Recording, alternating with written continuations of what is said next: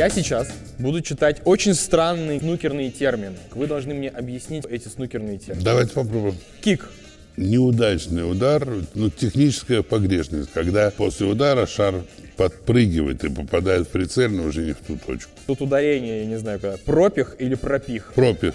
Ну, если говорить языком правил, то это нарушение, которое заключается в том, что наклейка касается битка, проводит его вперед, и есть момент, когда одновременно касание прицельный шар, биток и наклейка. И тогда эти шары вместе пошли вперед, глухой звук получается. Нету вот этого звонкого контакта. Мост.